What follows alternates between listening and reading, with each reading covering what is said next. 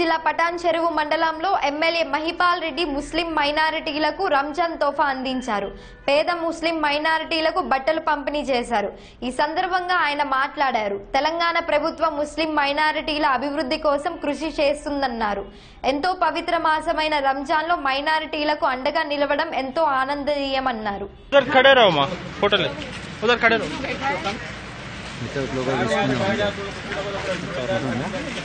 బట్టలు పంపిణీ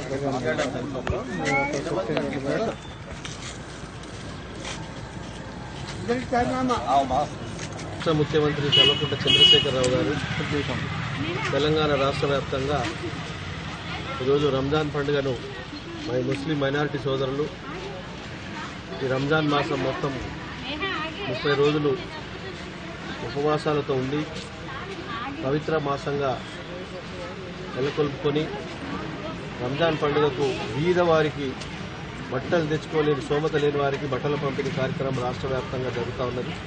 అందులో భాగంగా పటంచ నియోజకవర్గంలో ఐదు వేల ఐదు వందల బీద మైనార్టీ ముస్లింలకు బట్టల పంపిణీ జరుగుతూ ఉన్నది.